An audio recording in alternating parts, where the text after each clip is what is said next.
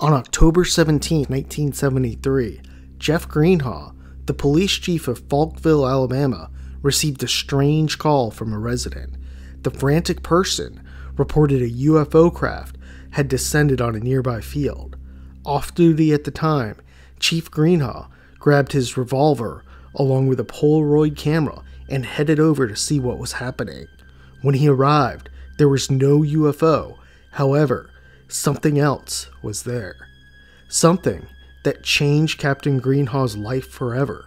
In this episode, we will examine this classic 1973 alien encounter, a case that became to be known as the Alabama Metal Man. Around 10 p.m. on October 17, 1973, Police Chief Jeff Greenhaw was relaxing at home, hoping to have a relaxing evening. Then the phone rang, and his life would change forever. Reports vary as to whether this caller was anonymous or Greenhaw knew the individual, but on the other end of the phone, someone was frantically telling him a UFO had landed in a nearby field. Chief Greenhaw grabbed his gun, keys, and Polaroid and sped toward the field. On the way there, he radioed the event to the station, but when he arrived, there was no UFO at the scene. He turned off his car and began canvassing the area. While no UFO was spotted, Chief Greenhaw did see something else, something that was truly bizarre. As he was walking around, he saw something just on the side of the road and shouted at it. He approached it to get a better look and could see that this was something like he had never seen before. The being was around six feet tall and appeared to be covered from head to foot in tinfoil. It began approaching the police vehicle. All its movements were extremely jerky and mechanical. The chief would snap four Polaroid pictures of the being. As it got closer, Chief Greenhaw turned on the headlights to the car. This seemed to scare it, and the entity took off running. The being was fast, extremely fast. Chief Greenhaw hopped in his vehicle and chased it through the field, but since the field was uneven terrain, he could only get up to 35 miles per hour. Notably, though, the being was getting farther and farther away from him. The chief's car eventually fell into a ditch, and the being got away.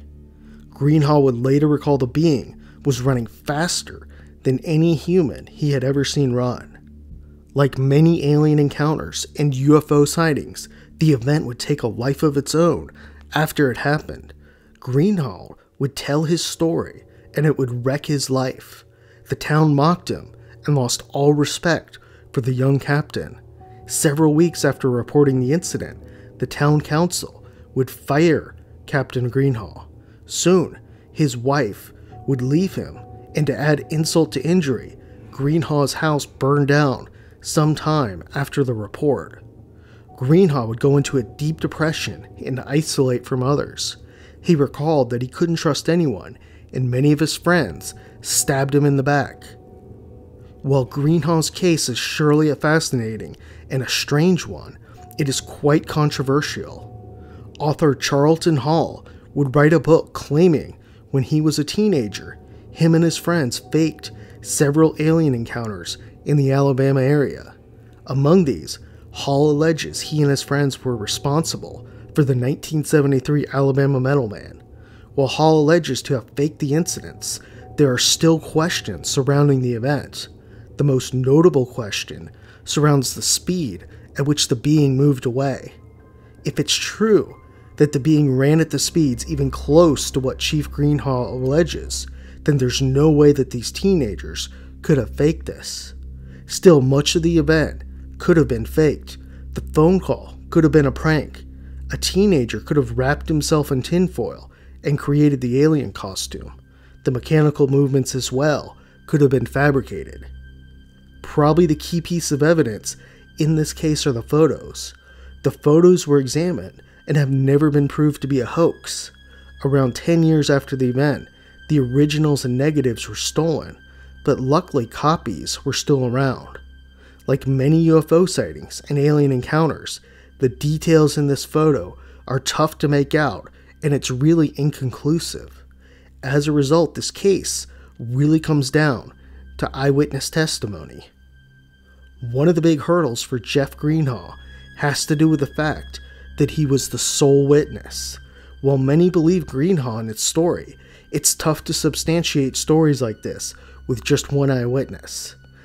To make matters worse, this case occurred in the early 1970s, a time when reporting a UFO or an alien encounter was definitely met with ridicule. This has led many to speculate there are many, many other undocumented cases out there. It's important to note, too, there have been other cases of robotic like aliens, so these are not really that rare.